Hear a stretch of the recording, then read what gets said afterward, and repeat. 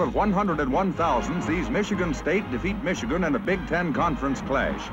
Bernstein's pass is intercepted by Peaks, and the Spartans appear to be touchdown bound. After a line plunge by Gilbert, netting only two yards, and an incomplete forward pass, Michigan State calls on John Matsko to kick.